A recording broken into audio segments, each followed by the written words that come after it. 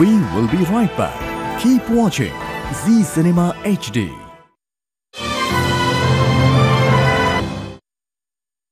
Trivandrum के child abduction case की investigation एक नए मोड़ पर पहुँच गई है medico legal adviser Samuel John Kattookaran sample purify करके दोबारा देखा था क्या It's an exact match.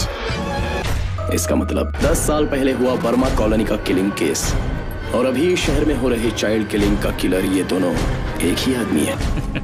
Zee cinema H D premiere forensic गुरुवार तेरह मई रात नौ बजे। जी सिनेमा एच डी पर सीने में सिनेमा